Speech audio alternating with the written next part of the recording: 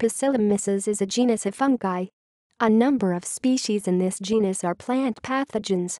Several of the entomopathogenic species, such as Paecilomyces fumosoroseus have now been placed in the genus Isaria, in the order Hypocreales and family Cordycipitaceae. In 1974, R. Samson transferred the nematocidal species Paecilomyces lilacinus to this genus, However, publications in the 2000s decade indicated that the genus Paecilomyces was not monophyletic, and the new genus Purpureocillium was created to hold the taxon which includes P. lilacinum, with both parts of the name referring to the purple conidia produced by the fungus.